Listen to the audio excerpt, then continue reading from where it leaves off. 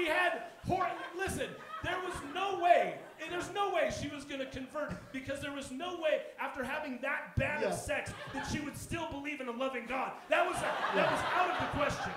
Okay? I couldn't find the clip, but I found Christ. Is that good enough? Right.